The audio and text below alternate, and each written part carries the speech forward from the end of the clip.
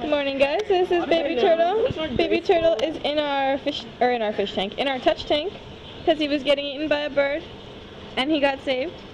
Oh, you can't see him now. This is our touch tank. Isn't it a cool touch tank? It's huge. And this is the baby turtle who is now residing in the touch tank. He's very small. Look, see. Here's my hand, and here's the baby turtle, so you can see how big he is. He's adorable. And yeah, baby turtle. Proof that I see baby turtles. These pictures are not photoshopped. So cute. Baby turtle trying really hard to go out to sea in the touch tank. This is baby turtle.